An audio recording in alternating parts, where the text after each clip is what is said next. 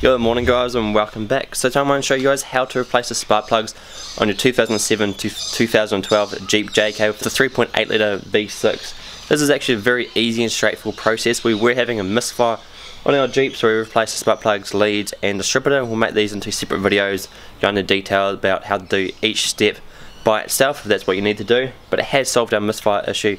Also need to replace the EGR valve but that's for a later video because it is a pain in the ass to get to and we've had uh, trouble actually trying to get it off. But today we are replacing the spark plugs in our 3.8 litre 2010 Jeep JK Wrangler.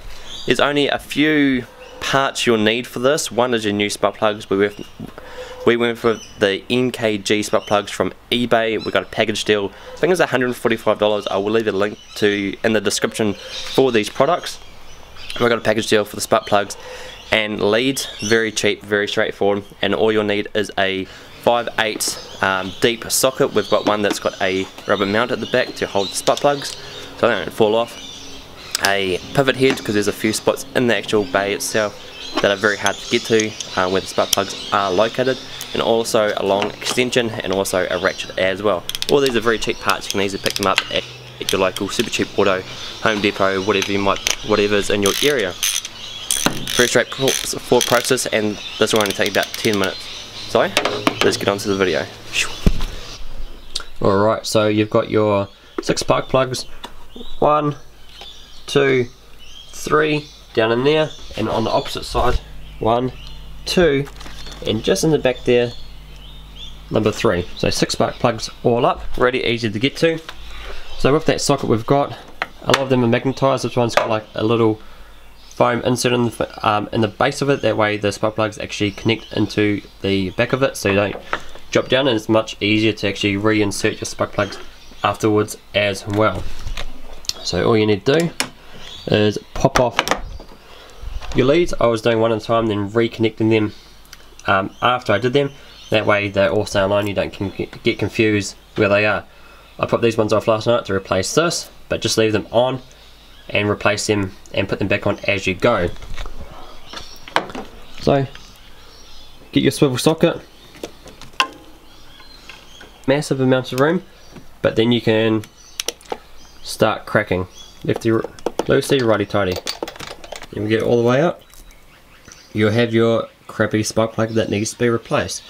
Now this is really easy, you just have to repeat the steps for 1, 2 and 3.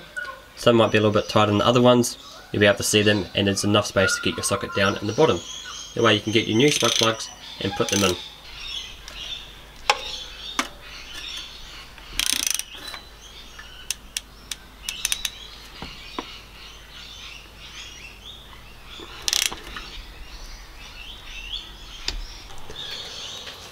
Just before you replace the spark plugs with the new ones, check your gapping on the new spark plugs, make sure they're gapped right. If they're not gapped right, it won't fire correctly.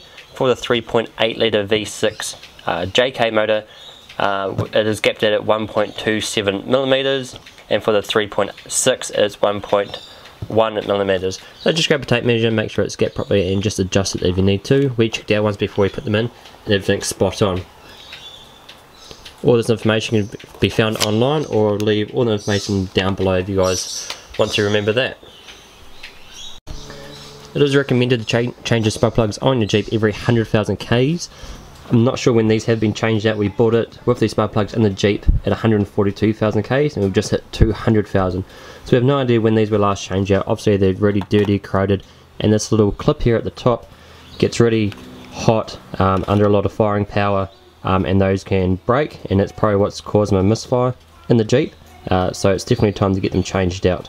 Not looking too bad but let's get the new ones in and see how we go. Alright now that we've got everything back together it's time to start the Jeep. Make sure everything's all good. Now we were having that misfire issue which was the code like P0400 which was wasn't like a cylinder. If it was a cylinder it'd be like P001 to 6. I think it's a misfire on that cylinder, which was just zero, so it means it was either spark plugs, distributor, lead. So we actually replaced all those and we'll make separate videos.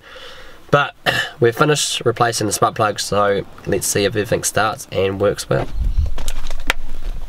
So there's always that point when you do stuff on your car yourself to see if it's actually going to work or not. So don't worry about the engine check light. That's for the EGR valve and there's other lights that are going to come up here in a second. That's for the um, rear uh, speed sensors. But everything's running well. Normally it's about this time that it starts misfiring and the engine check light starts flashing. So just give it a second